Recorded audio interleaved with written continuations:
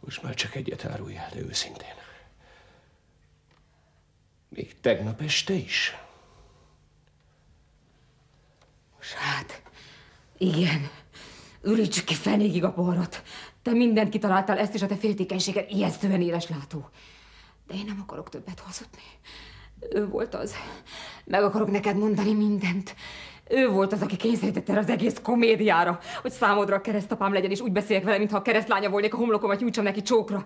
Ez a komédia tetszett neki.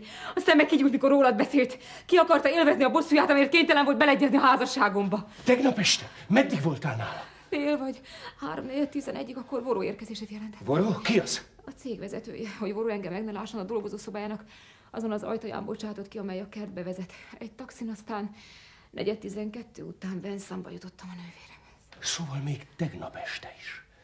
Tudva azt, hogy a nővéred súlyos beteg. Tudva azt, hogy anyagi gondjaid miatt is milyen lelki állapotban vagy. Ismerve az irántam való szerelmedet. Tehát mindez együtt. Mégsem gátolta meg abban, hogy a csekkárát követelje?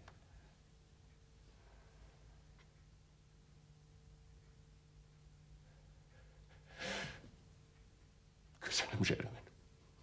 Köszönöm. Szükségem volt még erre a vallomásra. Szükségem